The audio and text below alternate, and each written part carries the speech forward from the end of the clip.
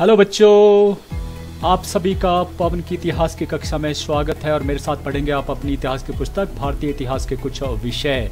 अरे सर, ये कौन है? अरे ये वही है, पवन सर ही है। ये हालत हो गई इन दो वर्षों में जब से कोविड चला है। चलिए, आप मुझे लगातार सब्सक्राइब कर रहे हैं, उसके लिए बहुत बहुत धन्यवाद। और इसका फ़ायदा ये होगा कि आप तक मेरी वीडियो सबसे पहले पहुंचेगी। ये वीडियो कैसी लगी उसके बारे में लिखना अवश्य ना भूलें। चलिए, अध्याय नौ में राजा और विभिन्न वृतांत ये पहला भाग आप तक आ चुका है। पहले भाग को अगर आपने ध्यान से सुना होगा, उस पर संबंधित सात प्रश्न है, जल्दी से फाइंड आउट करते हैं। पहला, सही मेल करना है इब्राहिम लोधी कीजिए फटाफट, इब्राहिम लोधी का मेल कहाँ है? इब्राहिम लोधी कहाँ के शासक थे दिल्ली के सुल्तान थे, याद कीजिए। पहला, सही है। दूसरा, मुगल साम्राज्य के संस्थापक का नाम, बाबर, बिल्कुल सही है। तीसरा है, पाँच राजवंशों में विभाजित था। पाँच राजवंश, अगर मैं थोड़ा सा बताऊँ नाम उनके तो वो थे अहमदनगर, गोलकुंडा विदब बीजापुर, विदर और बरार, ये पाँच थे। तो बताइए सबसे पहले, यस, उनको उनको क्या कहा जाता था? बहमनी राज्य, बिल्कुल सही है। फिर चौथा था, पानीपत का प्रथम युद्ध कब हुआ?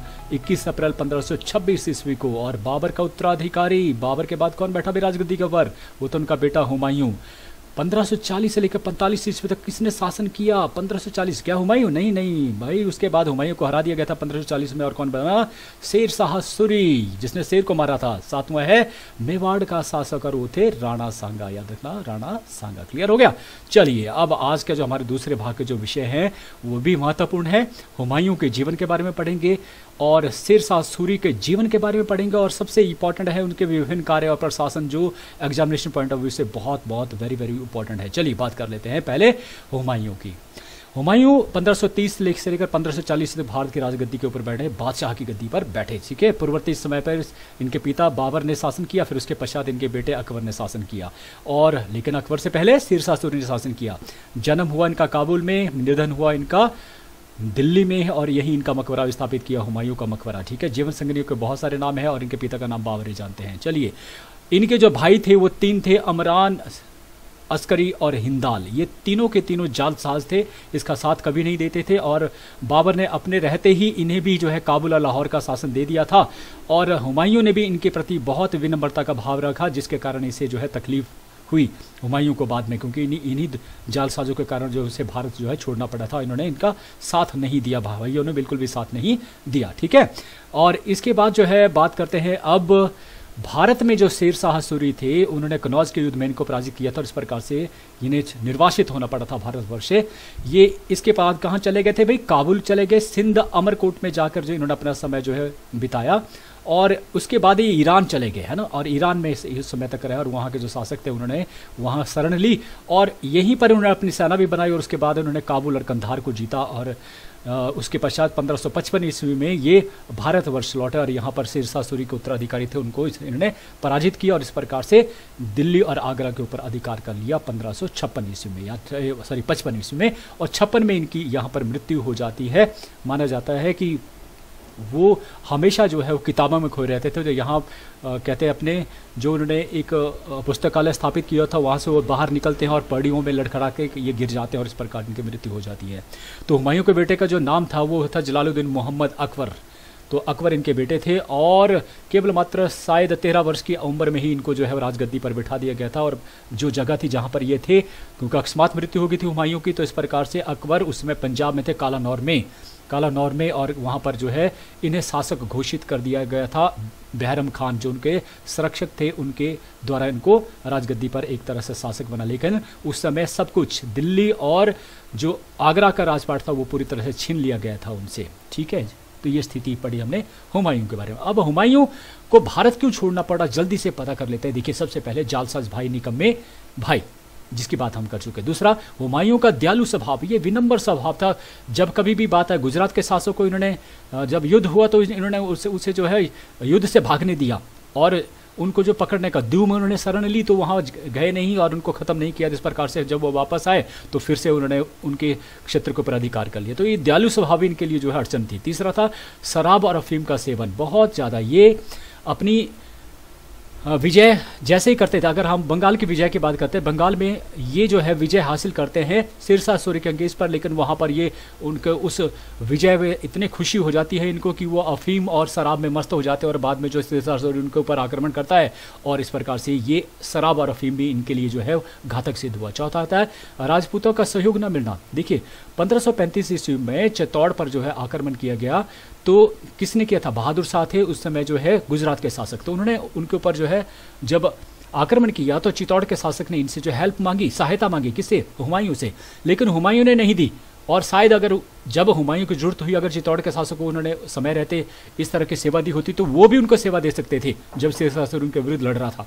तो ये भी कारण था उनके हार का कारण, भार छोड़ने का कारण। पांचवा है, शेर खान के विरुद्ध समय पर कार्रवाई नहीं करना। शेर खान जो कि बिहार का एक केवल मात्र सैनिक था। बिहार के सरदार के अंडर जो है एक केवल मात्र वो सरदार सॉरी सैनिक था, जिसे अकबर ने उसकी योग्यता को देखते हुए पहले जो है वो सेना नायक बनाया और उसके बाद उसको बंगाल का जो है वो क्या बना दिया गया, वहाँ का गवर्नर भी घोषित कर दिया गया। तो उसने 35 से लेकर 36 ईस्वी तक जो बंगाल पर अधिकार जमाना शुरू कर दिया था, जब जो हुमायूं दूसरे युद्धों में व्यस्त था तो उसने उस समय पैंतीस, छत्तीस में अपनी शक्ति को बढ़ा लिया था। तो इस कारण उसको भी, उसके विरुद्ध भी समय रहते कार्यवाही नहीं करना, ये भी इसको भारत छोड़ने के लिए जो विवश होना पड़ा। तो शेर सूरी के बारे में जल्दी से पढ़ लेते हैं। शेर सूरी का जन्म हुआ या राजगद्दी के ऊपर बैठे हुए चालीस से लेकर पैंतालीस तक। पाँच वर्षों, केवल मात्र पाँच वर्षों में उसने जो शासन किया हुआ, उसका इसलिए आज के याद किया जाता है सिरसासुर को प्रशासन के बारे में। वो बाद में पढ़ेंगे। राजा अभिषेक को पंद्रह सौ चालीस इसमें पूर्ववर्ती के तौर पर थे हुमायूं। उसके बाद जो है उत्तरावर्ती के तौर पर उनके जो बेटे थे इस्लाम सासुरी, वो शासक बने। जन्म हुआ चौदह ईस्वी में बजवाड़ा होशियारपुर, पंजाब में पड़ता है ये भारत में।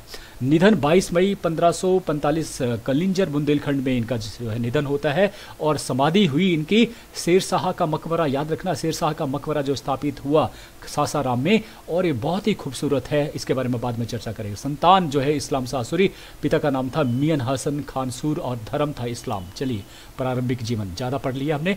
असली नाम था इनका बचपन का नाम वो था फरीद खां। याद रखना फरीद खां। और इनको शेर खां इसलिए शेर शाह सूरी से शेर इसलिए लिखा लिखा गया क्योंकि उन्होंने इन्होंने छोटे ही आयु में जो है शेर को मारा था इसलिए इनका नाम जो शेर शाह सूरी और सूरी इसलिए पड़ा साथ में क्योंकि ये जो गृह नगर था वो सुर था। तो सुर से ही इनका सूरी पड़ गया। तो ये शेर शाह सूरी इसलिए कहलाया। हो गया क्लियर? तो इनके जो पिता की जो है आ, दो पत्नियाँ थी जहाँ से आठ बच्चे थे इनके। अब बात कर लेते हैं शेर शाह सूरी 1540 लेकर पैंतालीस ईस्वी राजगद्दी के ऊपर बैठे तो उस समय क्या परिस्थितियाँ थी देखिए उन्होंने हुमायूं को हराकर उत्तर भारत में सूर्य साम्राज्य की स्थापना की थी तो संस्थापक के तौर पर माने जाते हैं शेरशाह सूरी, ठीक है? इसके बाद शेरशाह सूरी ने पहले बाबर के लिए एक सैनिक के रूप में भी काम किया था जिसकी बात मैं कर चुका हूँ भाई।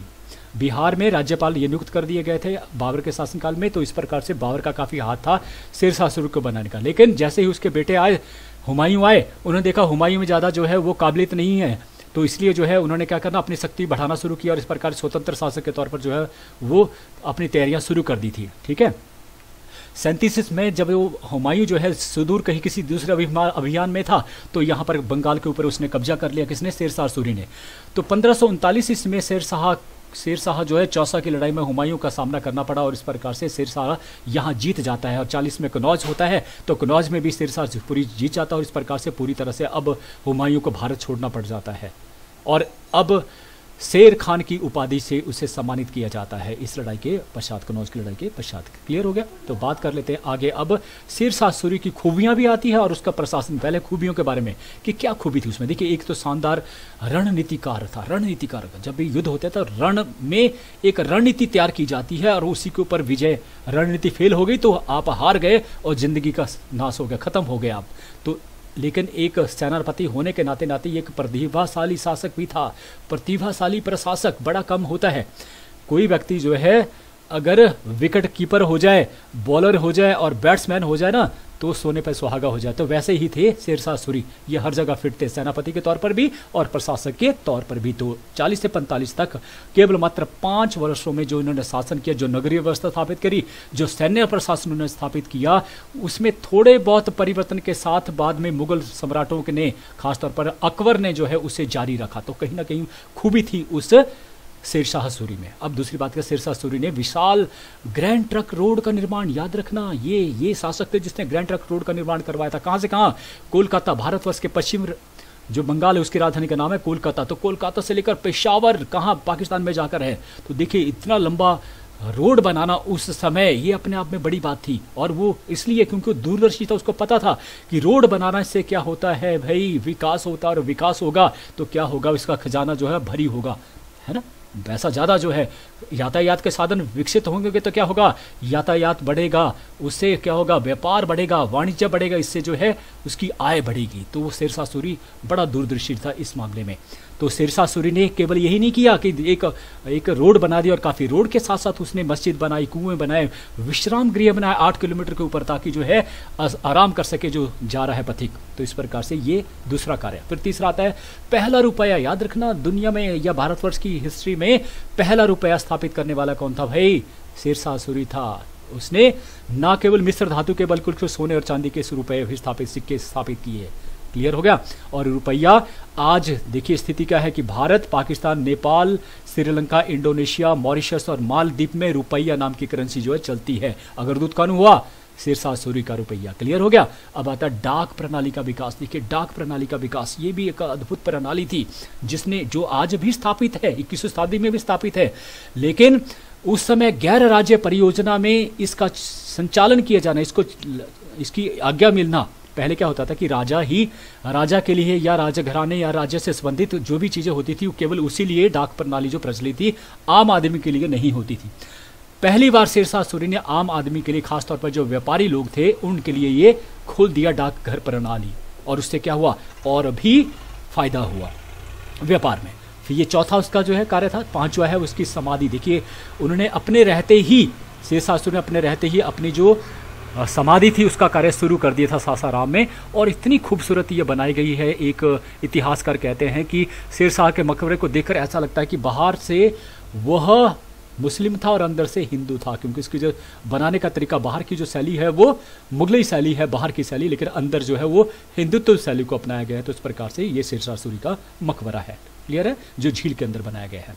अब बात करते हैं शेरशाह सूरी का शासन प्रबंध, जिसके लिए वो जाना जाता है इंपॉर्टेंट है। शेरशाह सूरी ने जिस शासन प्रबंध को स्थापित किया था, याद रखना, उसमें थोड़ा बहुत परिवर्तन के साथ ही ये अकबर के शासनकाल में जहांगीर शाहजहां तक ये चलता रहा, इसी तरह से चलता रहा। देखिए तो बड़ी बात है, केंद्रीय शासन प्रबंध, केंद्र में सरकार, जहाँ राजा बैठता था, वहाँ शासन कैसे चलता था भाई? तो उस समय राजा जो था, उसको कहा जाता सुल्तान। तो शेरशाह सूरी बादशाह नहीं कहलाता, क्या कहलाता था? सुल्तान।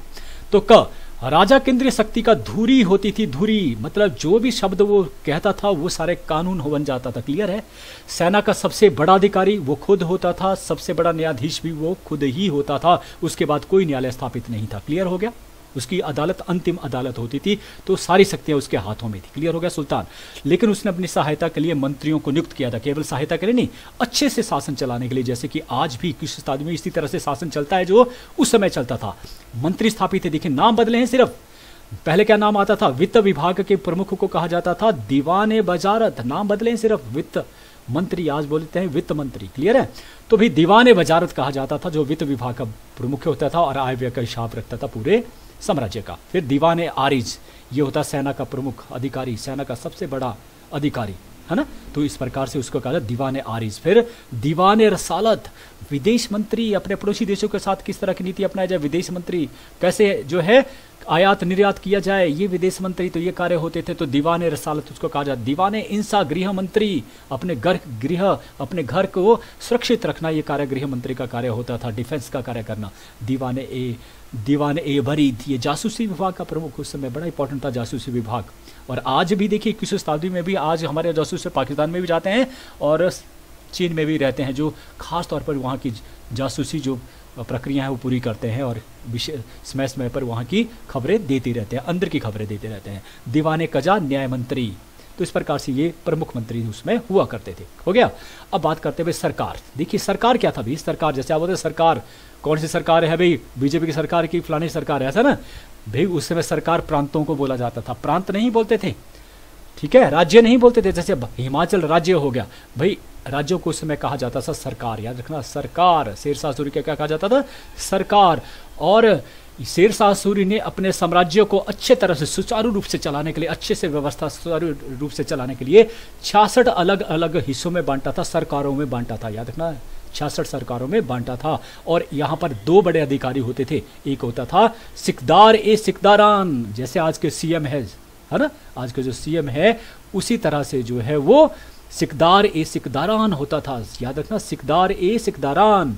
शांति कायम करना, शाही आदेशों को लागू करवाना, ये इसका मुख्य कार्य होते थे और फौजदारी मुकदमों का निर्णय देना, ये जो है सरकार में सबसे बड़े जो है वो क्या होते थे? जज का कार्य भी करते थे तो फौजदारी मुकदमों का निर्णय भी यही देते थे। उसके बाद मुंशिफ ए मुंशिफान, ये लिगान इकट्ठा करना और दीवानी मुकदमों का निर्णय। देखिए, अब आप बोलेंगे, सर, ये क्या होता फौजदारी और दीवानी। तो समझ लीजिए इस बात को। फौजदारी मुकदमे होते हैं जो आप चोरी करते हैं, डकैती करते हैं, इस तरह का काम करते हैं ना तो वो कहला जाता है फौजदारी मुकदमे, वो फौजदारी में आते हैं।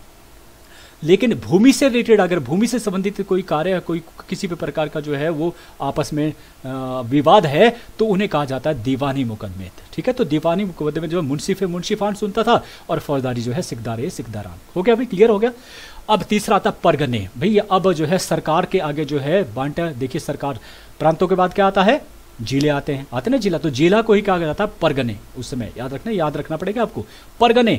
और छियासठ जो सरकारें थी, उन्हें परगनों में डिवाइड किया गया था। और हर सरकार में या हर सरकार में दो अलग अलग जो प्रतिनिधि जो होते थे, उसी तरह से आगे भी जो है, जो जिला या परगने होते थे, उनमें भी इसी प्रकार के जो है, वो प्रतिनिधि होते थे सिर्फ़ नाम में थोड़ा परिवर्तन क्या। एक है सिकदार, यहाँ था सिकदार ए सिकदारान, यहाँ सिर्फ़ सिकदार। और यहाँ था मुंशिफ है मुंशिफान, और यहाँ मुंशिफ। कार्य वही, शांति व्यवस्था काम करना, ठीक वो ऐसे जो कार्य यहाँ पर थे, वही कार्य यहाँ पर होंगे। समझ आ रही ना बात? समझ रहे हैं आप लोग? जैसे जिला का जो मुख्य अधिकारी कौन होता है, वो होता है डिप्टी कमिश्नर। तो मान लीजिए, सिकदार कौन होता है? डिप्टी कमिश्नर होता है। क्लियर है? मुंसिफ उसे आमिल भी कहा जाता है। याद रखना मुंसिफ को आमिल भी कहा, कई बार पूछा जाता है कंप्लीट आमिल से क्या होता है? आमिल जो मुंसिफ होता है, कहाँ? परगने का जो दूसरा बड़ा अधिकारी होता है इसका कार्य होता है लगान, इकट्ठा करना और दिमागी मुकदमों का निर्णय देना। एक और अधिकारी जो है, परगनों में होता था, उसे कहा जाता है खजानदार। देखिए, जो भी आय होती थी ना पूरे डिस्ट्रिक्ट की, पूरे ज़िले की, पूरे परगने की, उसका ब्यौरा रखना इसका कार्य होता था, ठीक है? और उसकी उसकी सहायता के लिए एक क्लर्क भी नियुक्त किया होता था, उसके कहा जाता कारकून, याद रखना? क्लर्क को क्या कहा जाता था? कारकून, नाम बदले हैं भाई, तरीके वही हैं। तो आगे बात कर लेते हैं, गाँव का प्रबंध। सबसे जो छोटी इकाई होती थी, वो गाँव की, गाँव का प्रबंध होता था। गाँव के प्रबंध में सबसे जो बड़ा अधिकारी होता था या गाँव का जो मुखिया होता था, उसे कहा जाता है मुकद्दम। याद रखना, बहुत बार पूछा गया है, कई बार पूछा गया है कि मुकद्दम कौन होता था तो मुकद्दम होता गाँव का मुख्य अधिकारी, ठीक है? और इसकी सहायता के लिए क्या होता था? पटवारी नियुक्त किया होता, पटवारी का कार्य क्या होता है? ज़मीन का हिसाब किताब रखना, किसके पास कितनी ज़मीन है, कितना वहाँ से जो है कर आ रहा है, वसूल किया जा रहा है, ये सारी का जो है वो पटवारी कार्य करता था मुकदम उसमें सहायता करता था। हो गया भाई? पांचवा था, न्याय प्रबंध किया जाना। न्याय प्रबंध, भाई, न्याय प्रबंध जो है इतना जोरदार था, माना जाता है कि शेरशाह सूरी के समय में जो है, जो न्याय व्यवस्था थी, वो सबसे उच्चतम स्तर, तरह की अच्छा बड़ी उच्च क्वालिटी की थी, ये कह सकते हैं हम। ये कहता, जब न्याय करता था तो ये मानता कि न्याय जो है, सबसे बढ़िया धार्मिक कार्य है। देखिए, जब न्याय को अपना धार्मिक कार्य या धर्म के साथ जोड़ दिया जाए ना तो इससे बड़ा पुण्य का कार्य नहीं होगा। आजकल क्या हो रहा है कि लोग जो है, इस धर्म को भूल गए हैं। वो न्याय को धर्म के साथ नहीं जोड़ते हैं। वो पैसा कमाते हैं और न्याय जो किसी तरफ़ चले जाए कोई दिक्कत नहीं है। और एक फ़िल्म देखी होगी जिसमें बताता है जज कि हमें पता होता है पहले दिन से ही कि भाई कौन सच्चा है कौन झूठा है लेकिन हम वेट करते हैं कि कब तक जो है कि झूठा जो है सच्चा हो जाए।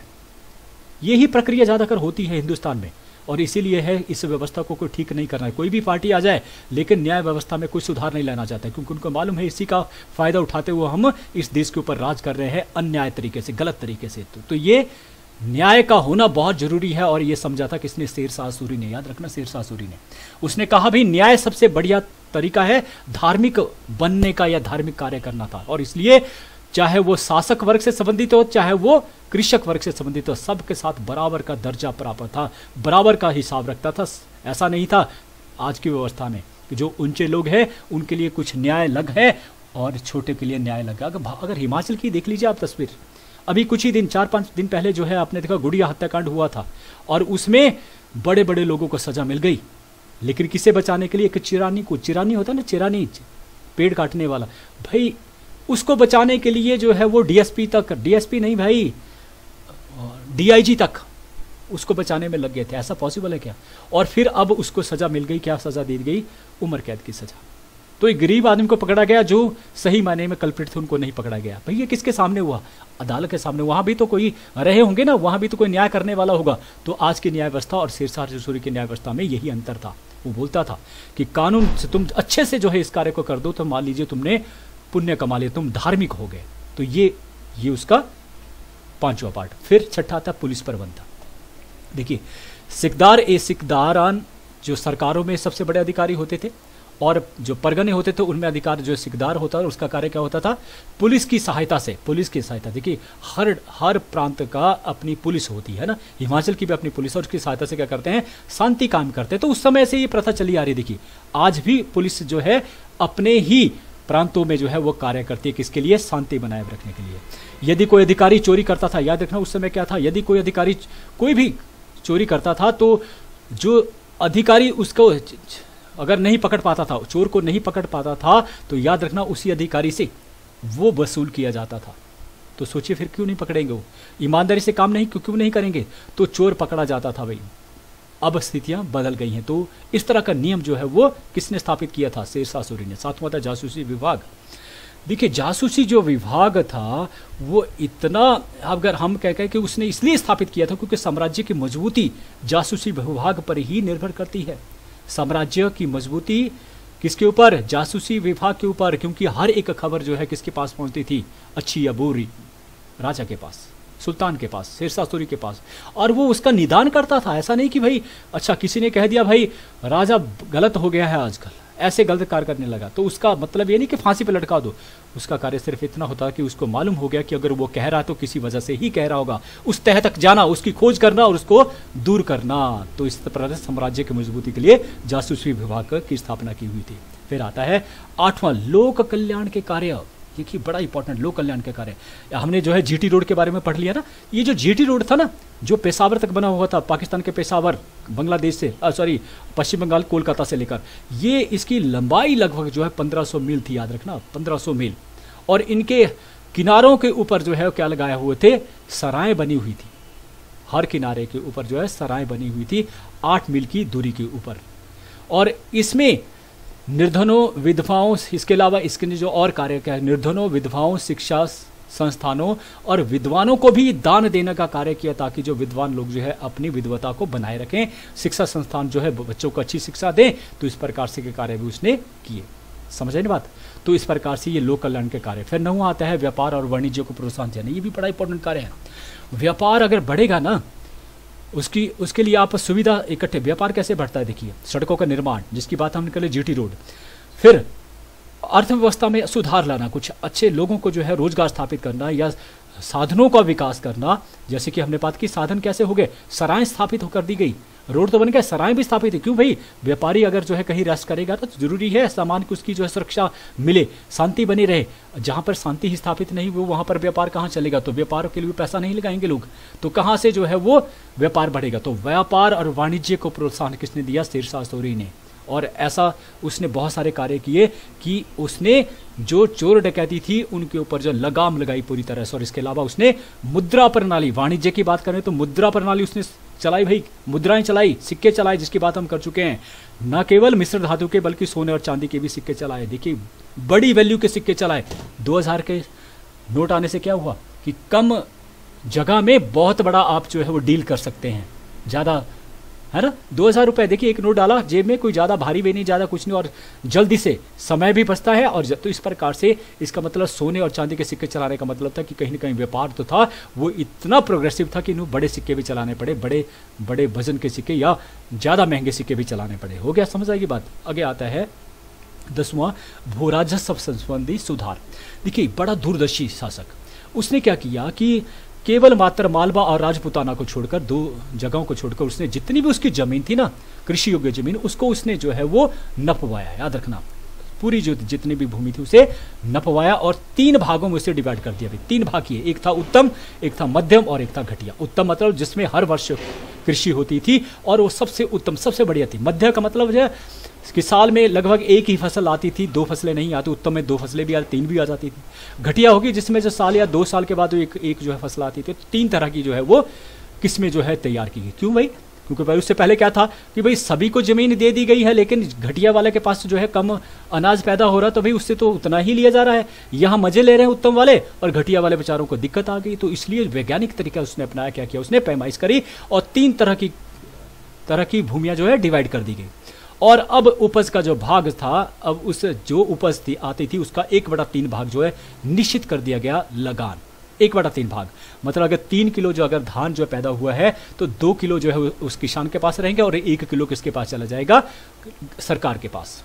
लग गया पता? तो एक बटा तीन भाग जो है वो रखा गया लगान का, जिसे वो नगद भी दे सकता था, पैसे के तौर पे ही दे सकता था। हो सकता है उसे अनाज की खुद की ज़रूरत है तो अनाज खुद के लिए रखेगा, पैसा दे देगा। क्लियर होगा? उसके बदले में। तो वो अनाज भी दे सकता था, अनाज के बदले फ़सल के तौर पर भी दे सकता था। फिर आता ग्यारहवा, सैनिक सुधार। सैनिक सुधार में उसने सबसे पहले क्या किया कि अपने सैनिकों को उसने तीन भागों में बांटा।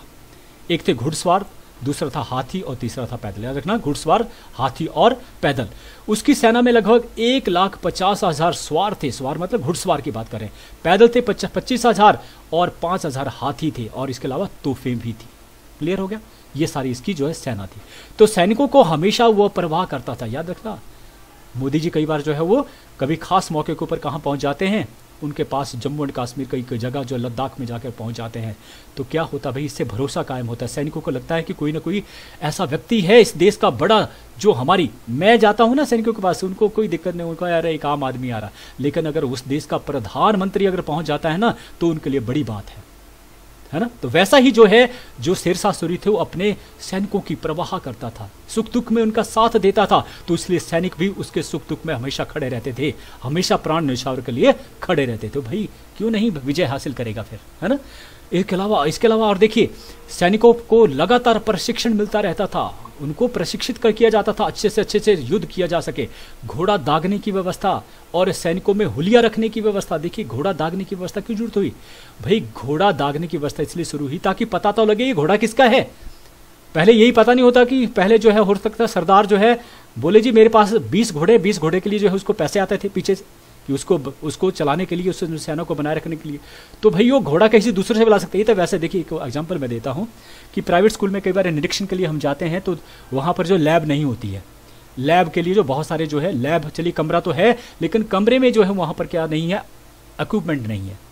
तो वो क्या करते हैं, किसी दूसरे स्कूल में, भैया, आज हमारा इंस्पेक्शन है प्लीज़ यार, अपने इक्विपमेंट दे दीजिए तो सारा सामान वहाँ से लाया, रख दिया, जी, हमारी लैब ये है। फिर वो दूसरे दिन वो दूसरे के पास चला गया। सामान है नहीं, लेकिन दिखा रहे हैं वैसे। तो वैसे ही कि ताकि वो घोड़ा उसी का ही, जिसका है, उसके लिए परमानेंट हो जाए। दागने की व्यवस्था। सैनिकों का हुलिया भाई सैनिकों, ये मेरा सैनिक है, किसी और का सैनिक तो नहीं था। तो उसका हुलिया रखने की भाई आज भी रखा जाता है। पूछा जाता है भाई मार्क। जो बॉडी का जो परमानेंट मार्क है, वो क्या है? कोई कट का निशान है सर के ऊपर? ये व्यवस्था कब से शुरू हुआ भाई शेर सासुरी से शुरू है और इसको शुरू करने वाले, याद रखना, अलाउद्दीन, पूछा जाता है कई बार। अलाउद्दीन खिलजी ने सबसे पहले इस व्यवस्था को शुरू किया था, फिर इसको बंद कर दिया गया है, लेकिन शेर सासुरी से फिर से ये प्रारंभ हुआ और आज तक ये विद्यमान है। क्लियर हो गया? तो ये इसका सैनिक सुधार। हाँ थक गया बाबा। अब आज का विचार जो अंतिम है, ध्यान रखना, आज इसी पर जो है संबंधित है। रिश्ते और पौधे दोनों एक जैसे होते हैं। रिश्ते और पौधे दोनों एक जैसे होते हैं। लगा के भूल जाओ तो दोनों ही सूख जाते हैं। तो इसलिए अपने रिश्तों का और पौधों का तो विशेष ध्यान रखिए, क्योंकि हमारा एनवायरमेंट लगातार खराब हो रहा है। हमारा घर का एनवायरमेंट रिश्तों के कारण खराब हो रहा है। दोनों का ही ख्याल रखिए और अच्छे से रहिए, मस्ती से रहिए, स्वस्थ रहिए। इन्हीं शब्दों के साथ आपने मुझे ध्यान से सुना। उसके लिए आप सबका बहुत बहुत धन्यवाद। थैंक यू बच्चों। Bye bye